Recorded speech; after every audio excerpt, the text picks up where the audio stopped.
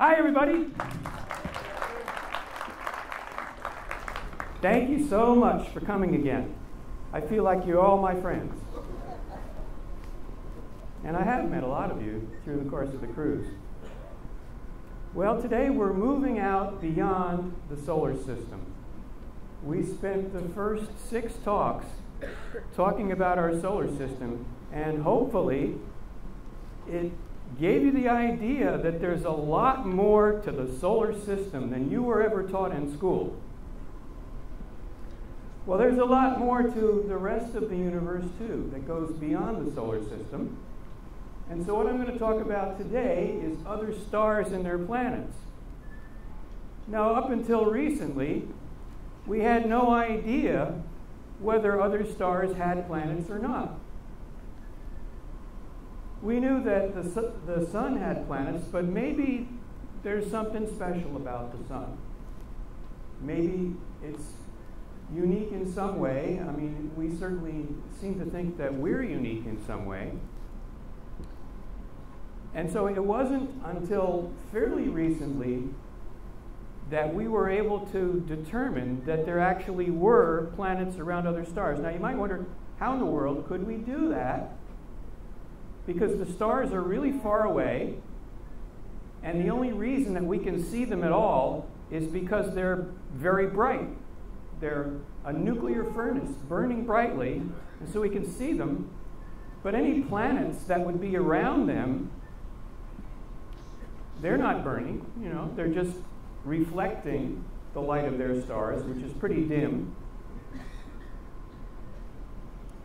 And as we have talked about our solar system, and we've talked about seeing Mercury and Venus and Jupiter and Saturn and Mars, those, all, all of those planets were seen by the ancient people, and they could see them with the naked eye.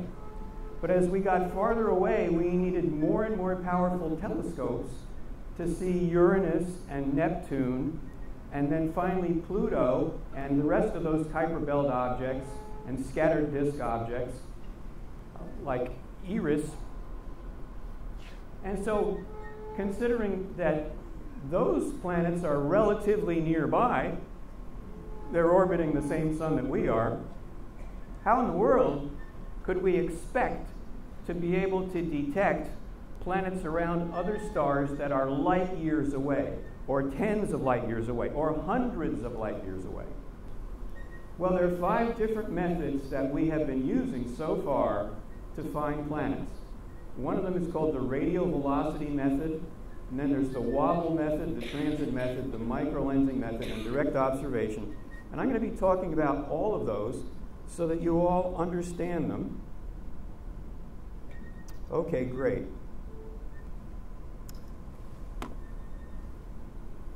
How many of you have ever been to an automobile race? Okay, quite a few. And have you ever noticed that when the race car goes by, because it has a powerful engine, it makes a loud sound, right? And as that racing car is coming toward you, you can hear it. And as it's going away, you can hear it. And the sound is like this. Right? Am I right? It makes that sound. So as the race car is coming toward you, the sound it makes has a higher pitch than the sound it makes as it's going away. That's called the Doppler effect. And I want to demonstrate the Doppler effect to you so you really understand it. I need one volunteer. Can I have a volunteer from the audience? Okay, this gentleman right here. Al, come on up.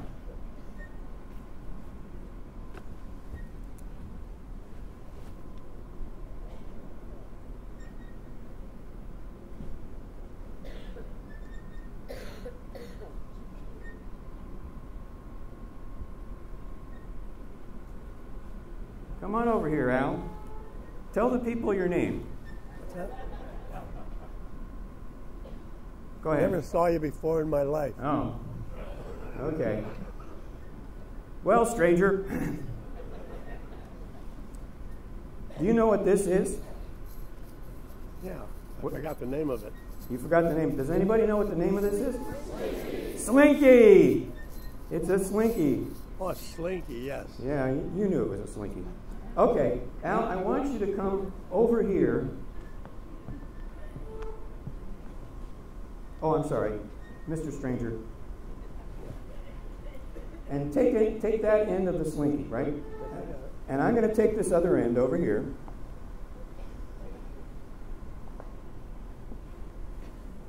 Okay. Now, can you people see the slinky? All right. Now, each one of these coils represents a wave. And if we were talking about starlight, it would represent a light wave. But it could also represent a radio wave or a sound wave or any other kind of wave, right? Now, right now, this wave is kind of at what I would call the normal frequency, the wave or normal wavelength. Now, watch what happens as I approach that strange man over there. Did you see what happened to the frequency? The frequency got higher and the wavelength got shorter. Okay? So, as I was approaching Al, if this were a sound wave, it would be wee, it would be high. Now, okay, Al, come over here.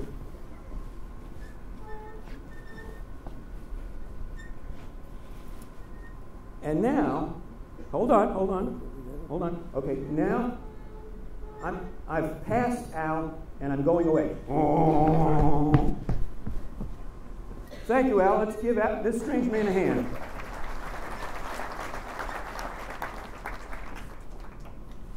So that's the Doppler effect. I need two volunteers. Can I have two volunteers? I, I see one person getting up. I see two people getting up. Great. Come on up.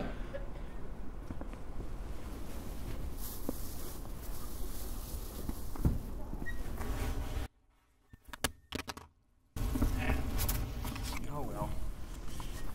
I'm dropping my cookies. Yeah, here.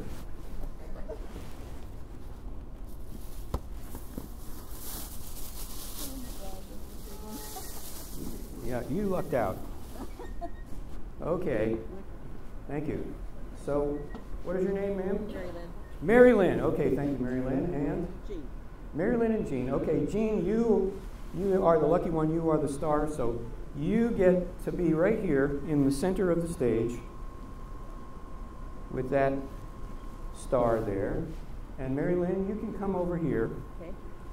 All right, and you can hold this up this way. All right. Now we're going to assume that the orbital plane of this planet is exactly on a line with the Earth. And sometimes it is. All right, now, you're going to, Mary Lynn, you're going to orbit Jean, okay? So let's go around here like this. Okay? Stop. You're doing, no, no, you're doing great. Yeah. Okay, all right, all right. You've made one complete orbit. Good. Now, this, you know, I think I want to use a smaller planet. Where's my other planet? It rolled. Oh, here it is.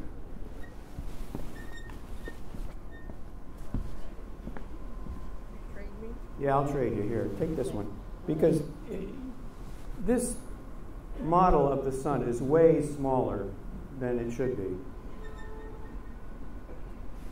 So imagine, imagine that this is really a really small planet compared to the sun. Okay, now, right now, at this point, you out there, you're astronomers on Earth with a telescope, and you see the light from the sun.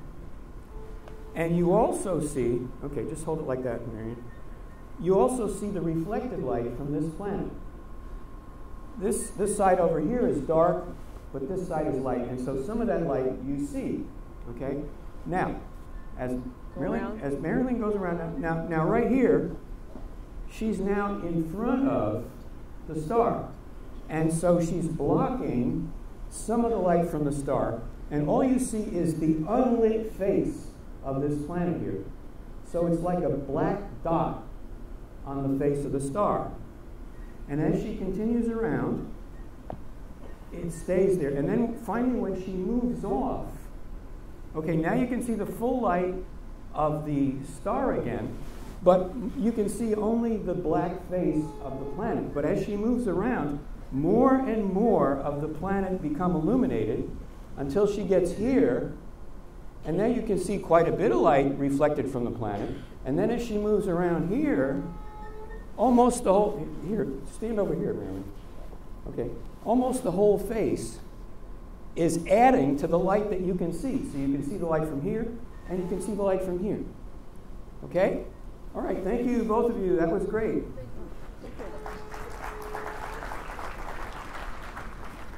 All right. So that explains that explains what we see here, right? Where it's a little bit we get a little bit more brightness here and then less and less and less until the planet goes in front of the star and then we get a big drop in brightness and then when it comes back then we, we still see all the brightness of, we see all the brightness of the star again but we're getting minimal brightness from the planet. And then as the planet orbits around, we get more and more brightness from the planet. And then when the planet moves behind the star, there's a dip in brightness because we're not getting any reflected light from the planet anymore. So there's two minima. There's the big minimum and the smaller minimum. The big minimum is when the planet goes in front of the star and the smaller minimum is when the planet goes behind the star. So that is the transit method. And we've discovered a lot of planets using the transit method because that is the method that the Kepler Space Telescope uses. When the Kepler Space Telescope was launched, it looked at a patch of sky, basically just a random patch of sky. And in that patch of sky, there were 150 stars, no, 150,000 stars that it was looking at. Just a little, little teeny piece of sky, 150,000 stars that it was looking at. And it just stared at those stars for three years. So if anything happened to the brightness curve, it would, it would notice it. It would, it would take that data. Now, this is a lot of data for astronomers to, to go through. In fact, it's too much. And so what they did was they said, you folks out there, you want to help with astronomy? Would you like to discover a planet? Well, you can. And so an organization, a nonprofit organization called planethunters.org, planethunters.org, was given access to the data that came in from the, Kepler Space Telescope. Hmm. And here's one of the scenes that came in from the Kepler, Kepler Space Telescope. And you can see that uh, there are there are a bunch of set of data sets here, and this one happens to be data set 14.1. Okay? And you can see this noisy thing here. This is the brightness of the star. But look at this. There's a dip. And there's a dip. And there's a dip. And there's a dip. And, and the dips are, are kind of the same depth. And there was a data loss there for some mechanical reason. And then a dip, and a dip, and a dip, and a dip. Something is transiting this star, and it seems to be transiting about every three days. In other words, a planet that is very close to the star. Now, this just happens to be a data sheet from planethunters.org that I found the planet on. But anybody could do the same thing. You don't have to be an astronomer to do this. All you have to do is notice the dips. Oh, yeah, now, the microlensing method. this is kind of an amazing method here, and this is a very confusing slide. So I need some volunteers. I need, I need three volunteers. Can I have can I have house lights so that I can see volunteers? There, yes, I'll take this gentleman right here.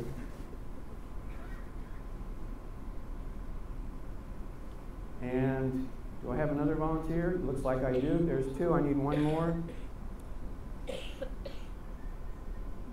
Okay, sir. A bold man, for sure. Come on up. Oh, he's not a volunteer. He's going to the restroom. Can I have another volunteer? Okay.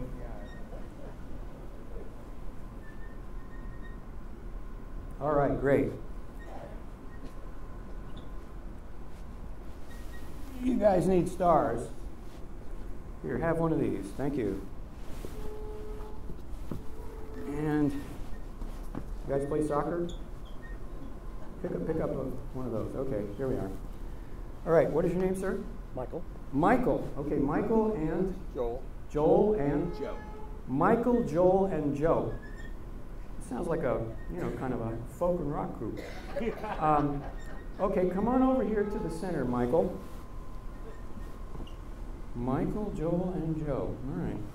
Now, Joel, I want you to stand behind Michael and hold up your, yeah, that's good. Hold up your star there. Well, it should be at the same height for, for both of you guys. And Joe, you're over here. That's fine. All right. Now, I want, in fact, come over, come over this way, Michael. No, you stay there. All right. Now, all right. Here we are. This is good. All right. Now, I want, I want to practice. All right. All right. So we're, what we're going to do is Joel is just going to stand where he is. He's not going to move. In fact, Joel, you have the easiest job. All you do is stand there. Okay. Now, you guys, we're going to walk slowly this way. Come on, here we go. Here we go.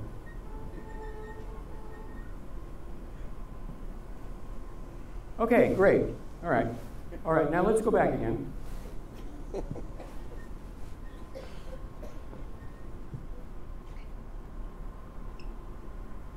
Oh, no, you're doing good. All right, now I want you folks out there to imagine what's going on here. Joel is a star that is really far away. In fact, it's so far away that it's totally invisible. You cannot see it at all. Right? It's really far away. Good, good one, good one, Joel. Step, step a little closer to the screen, Joel. There you go. Don't, don't fall down the hole there. Okay, now, you can't see any light from that star, but you can see light from this star, right? Now, well, you know, I talked in one of the previous lectures about the fixed stars, that if we could see the motion of the planets in our solar system as they moved against the background of the fixed stars because it looked like the, the stars weren't moving. But in fact, the stars do move.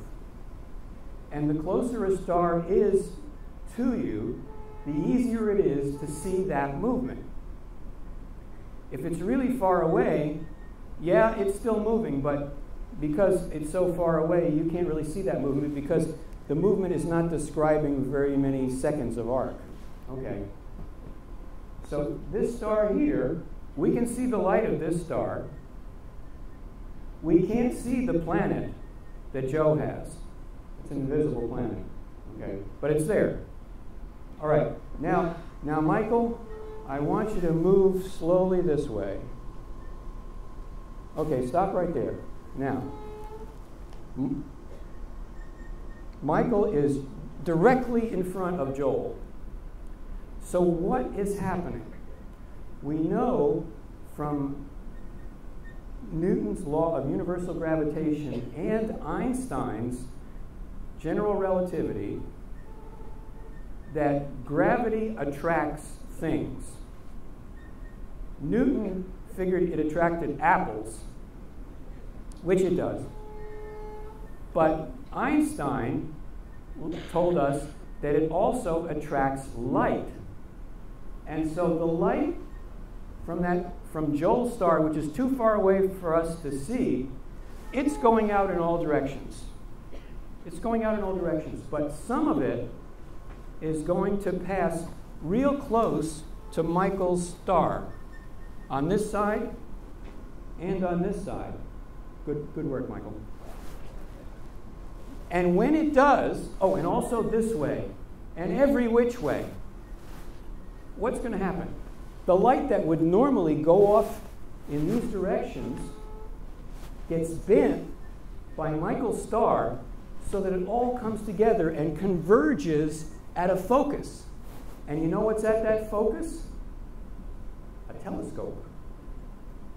And so the light that is too dim to be seen from Joel's star gets focused by the gravity of Michael's star, and now it's strong enough to reach our telescope on Earth and we can see it.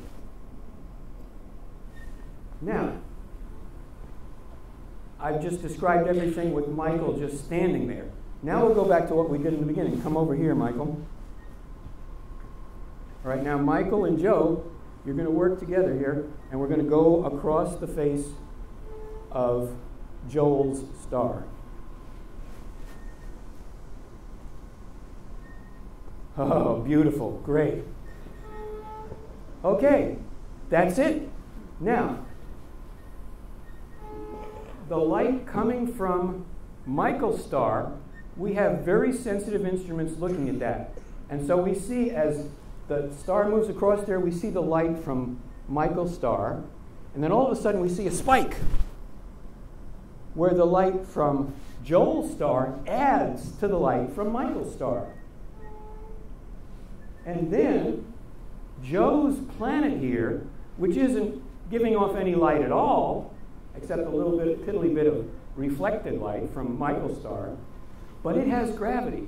And it concentrates the light from Joel's star too, and so we have a second spike. Okay? This is called microlensing because the gravity of the star and the planet act like lenses that focus light. Okay, gentlemen, thank you. That's You've done a marvelous job. Thank you. Now I can describe this confusing slide. Okay, what we see over here on the left is the source star, which is Joel's star. And here we see the lens star, which is Michael's star, and the planet, which is Joe's planet. And here we have the telescope down here. At this point, the lens star is not lined up with the source star, and neither is the planet. But they are moving, and they're moving from right to left in this uh, picture here. And what we see when they move in the way, we see the light rays being bent by the star into the telescope. And we see the light rays being bent by the planet into the telescope. Normally, and, and so in the telescope, instead of seeing that source star back there, we see these distorted images. In other words, we don't see this at all. We see these distorted images. So we see multiple copies of the source star, but they're distorted. So it looks like the light is coming from here, but it's really coming from here. It looks like the light is coming from here, but it's really coming from here. It looks like the light is coming from here, but it's really coming from here. And then as the near star and planet system move along, now the planet is no longer bending the light, but the star still is. And so instead of three images there, we have only two. And then a little bit later, the planet is moving farther away, the star is off center, and so this image is weaker, and then finally, when these two are completely passed, then we see the source star again. I said earlier that it's so dim that you wouldn't see it. Sometimes it is so dim that you can't see it. Sometimes it's bright enough that you can see. So, this curve here shows you what's happening here. You have a spike when the planet is lined up with the far star, and then you have a bigger spike when the near star is lined up with the far star. So that's the microlensing method. And with the microlensing method, you can see star, you can see planets that are farther away than other methods. The, the bad thing about this particular method is once those near that near star and planet system go by, they never go by again. So it's a one-shot thing, a one-time observation. And there's not a whole lot you can tell from a one-time observation, but you can tell, by golly, there is a planet orbiting that near star.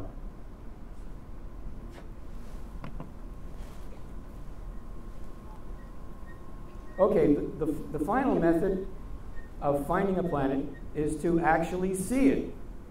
Instead of all these indirect methods of inferring that a planet exists, actually seeing it. Now, this is the hardest to do because the star is very, very bright, and the planet, which only has reflected light, is very, very dim, and the, the light from the star is going to wash out the light from the planet. Well, here's an example, though, and we see in this star, this star is called Fomalhaut, and it's about 40 light years away. And you can see this dark disk here. That's a mask masking out the light from the star itself, which would be here where the white dot is. And we see that there's a lot of stuff orbiting Fomalhaut. Fomalhaut is a young star, much younger than the sun, and it hasn't really coalesced into a, a solar system yet. But if we look here in this little box, and here's a magnification of the little box, we see that there's this bright point of light that was here in 2004, and it had moved along a little bit and was here in 2006. Let's move it along a little more here. And in 2010, it had moved along a little more, and in 2012, it had moved along a little more. So we have a pretty good handle on the orbit of that planet. And boy, that planet is really far away from its star because eight, eight years, it just covered a very small portion of its orbit around that star. But that's a direct observation. It's a planet, and we can see it. Here's another example. This is a, uh, a star called HR 8799, and we have discovered three planets around it. Here's planet B, which is that little dot there that you maybe can't see. Planet C, little dot there that maybe you can't see. And this was taken in 2004. In 2007, it looks like planet B hasn't moved very much. Planet C hasn't moved very much. And then here's one that was taken in a different wave band. And so the, the shield around the star itself, that is a blank circle here, they've got this modeled thing instead. But you can see planet B looks like it hasn't really moved much.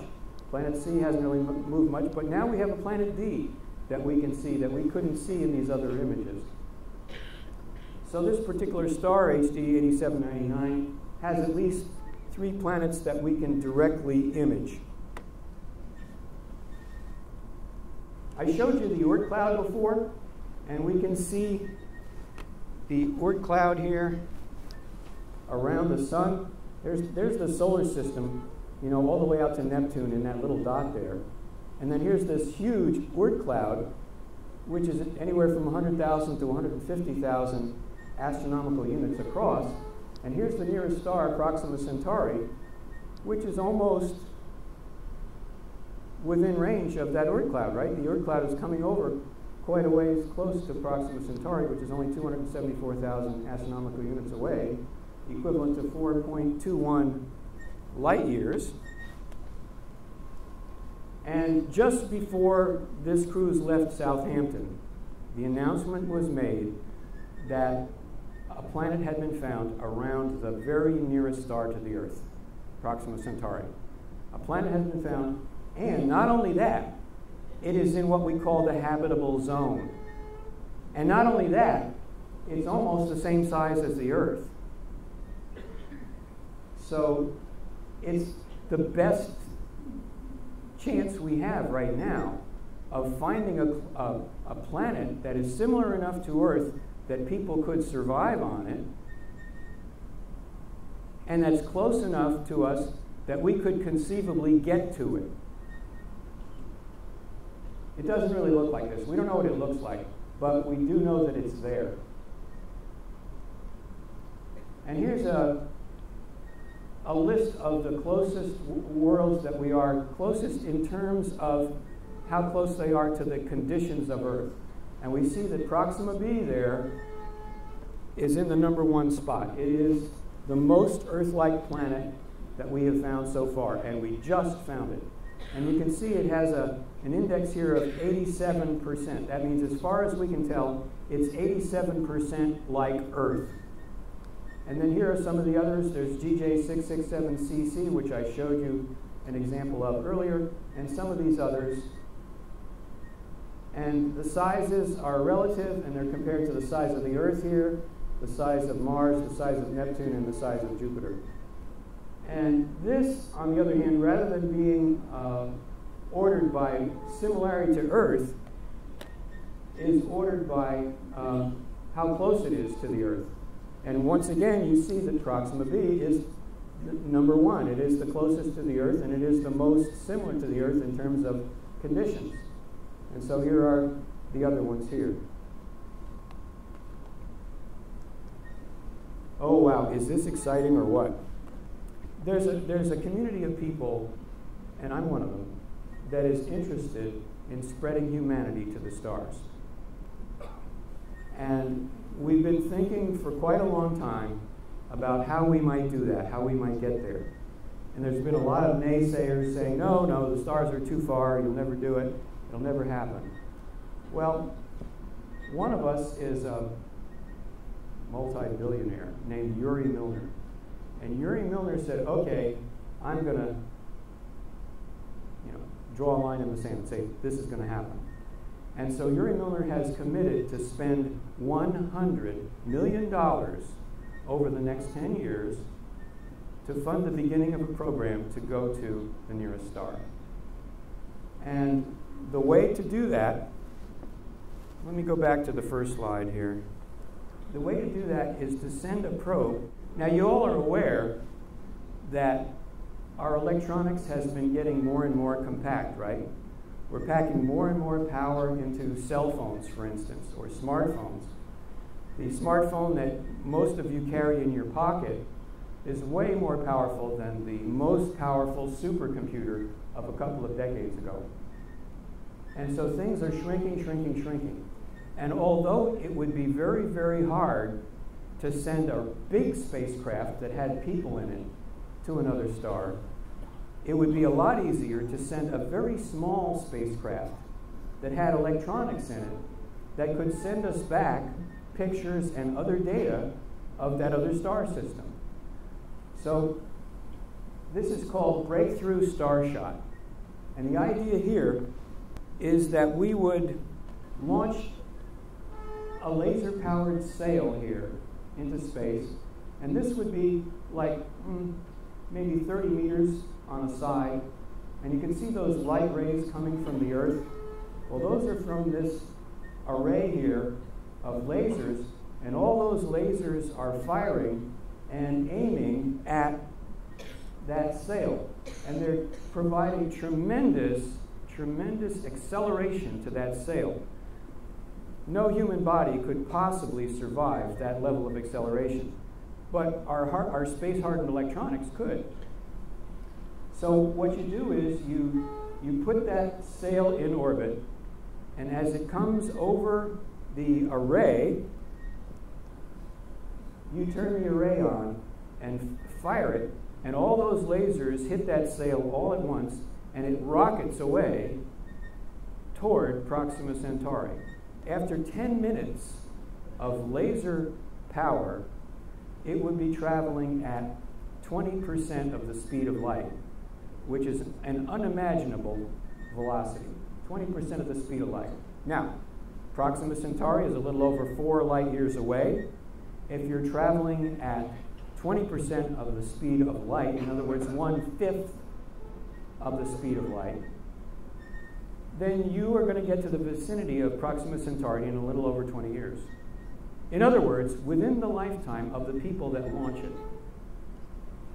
It would then send back pictures and information, and it would take four years, 4.2 light years, for that information to come back to Earth. The, this array here would be flipped upside down, so to speak, not physically, but in terms of function. Instead of projecting laser rays, it would be receiving the signal sent back from the spacecraft. So in 25 years, thereabouts, you would have pictures and data from the nearest star. It would be a first step toward humanity work, working its way out into the universe. We've thought about the habitable zone in the past, that the Earth was in it, that Venus was too hot for it, Mars was just barely too cold. We have found since then that life can survive in a lot more places than we originally thought. We speculate that Europa, the moon of Jupiter, even though Jupiter is way out of the classical habitable zone, might contain life. That Enceladus, the moon of Saturn, might contain life in terms of the watery environment under the icy shell of those planets. And we found here on Earth that life can survive in amazing places in caves underground where light never penetrates, at deep sea ocean vents under, the, under miles of water, under miles of ice in Antarctica, boiling hot springs, and under ice where no light penetrates. This picture was taken with artificial light in a cave where light never penetrates, photosynthesis could not happen, and yet we have these slime molds living there and basically earning their living from the rocks that they cling to. These are black smokers under miles of ocean water, and you can see they're just covered with life. These giant tube worms there are also there in the, in the dark. This, this picture was taken with artificial light. There's no sunlight ever reaches this depth, and yet these things uh, are alive. Here's some bacteria that were discovered in an ice core that in Antarctica that was drilled down through miles of ice, still alive. Hot springs, like in Yellowstone National Park in the United States, uh, there are organisms that live very close to the boiling point of water, and you can see the vivid colors here. Th- those aren't rock colors, those are life colors. And even underneath Antarctic ice, you can see these animals clinging to the bottom of the ice pack, and once again, there's no, no light that ever reaches that area. So life is amazing. It finds a way. And maybe it has found a way on some of these other planets. So thank you very much.